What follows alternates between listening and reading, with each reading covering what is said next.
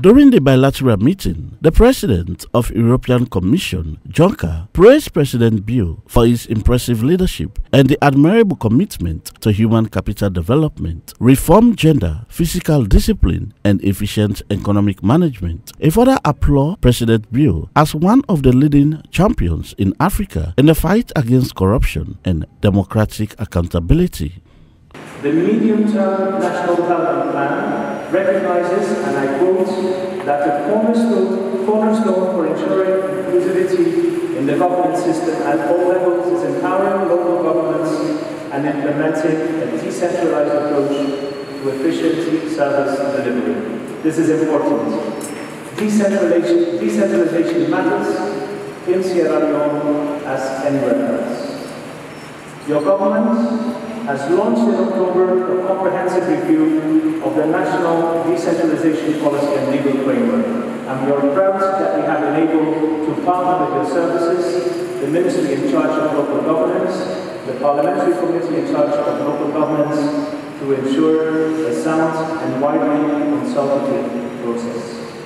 It is our hope this review process will enable to address the most critical constraints and support effective and sustainable evolution of state functions to local authorities. President Julius Maada Bio highlighted various ways through which the four lucky districts will benefit from the 23 million euro grant. Kenema district will benefit will benefit from the following: funeral home, ultra model hall, bridges, and culvert. Makeni will benefit from the grant on the following 75 bed student hostel for the Yoni campus, Cattle Park, water point facilities, Pujehun district will benefit on the following. Construction of market at Bondapi, Bandajuma, and N Fonima, two guest house in Pujehun, Solar Kwesi for women, Kambia will also benefit from the European grant on the following improve water facilities, guest house at Baramuya, and construction of market. His Excellency President Julius Maada Bio extended his gratitude to the European Commission President for their unflinching support to his new direction administration, whilst at the same time reiterated his commitment to strengthening the bilateral relations with the European Commission.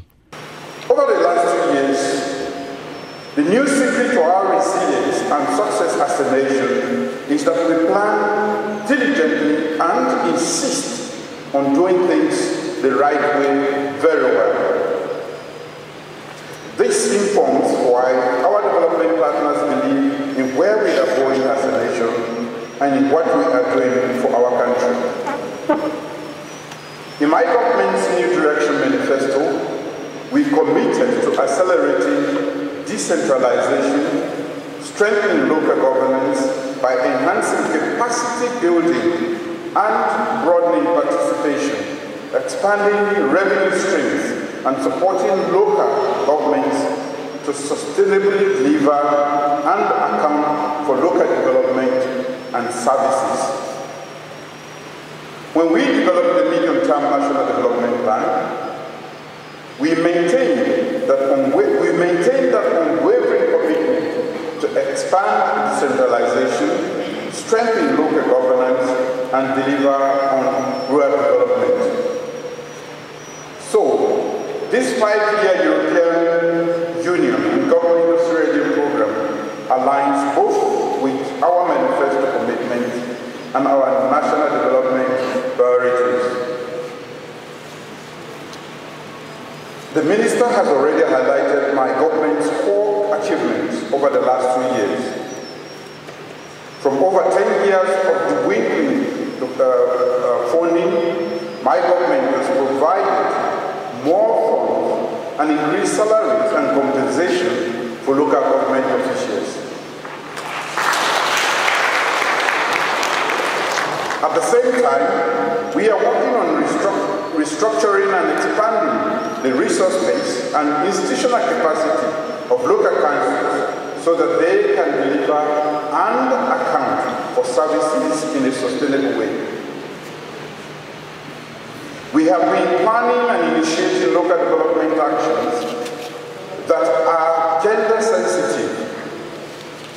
All those actions demonstrate that we are not only serious about decentralization, we are also serious about ensuring accountable service and development delivery at the local levels. For Star News in Freetown, I am George Elliot Sam reporting.